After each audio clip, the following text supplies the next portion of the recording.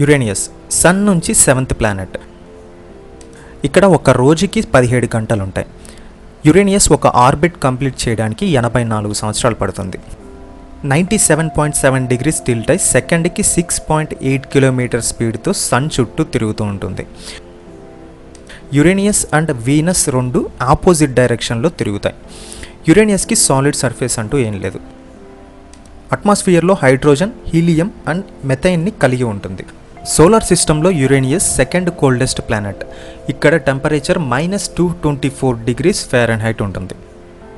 ఇక్కడ గాలి వేగం గంటకి తొమ్మిది వందల కిలోమీటర్ల వేగంతో వీస్తాయి. యురేనియస్కి ట్వంటీ సెవెన్ మూన్స్ ఉన్నాయి. ఈ మూన్స్ అన్నీ కూడా సగం నీటిని సగం ఐస్ని కలిగి ఉంటాయి. యురేనియస్కి inner system rings and outer system rings అని రెండు ఉన్నాయి. ఇన్నర్ సిస్టమ్ రింగ్స్ చాలా సన్నగా ఉండి డార్క్ గ్రేయిష్ కలర్లో ఉంటాయి. అవుటర్ సిస్టమ్ రింగ్స్ రెడ్డిష్ కలర్లో ఉంటాయి. ఇక్కడ సన్లైట్ పడడానికి నూట యాభై తొమ్మిది నిమిషాలు పడుతుంది. ఈ వీడియో మీకు నచ్చినట్లయితే లైక్ చేయండి కామెంట్ చేయండి. ఫేస్బుక్ అండ్ వాట్సాప్లో కూడా మీ ఫ్రెండ్స్కి ఈ వీడియోని షేర్ చేయండి.